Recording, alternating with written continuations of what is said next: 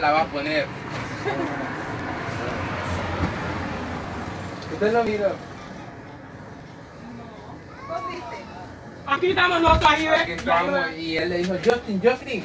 Y, Puchica, pero él tenía que correr por su hijo. y él se iba a morir.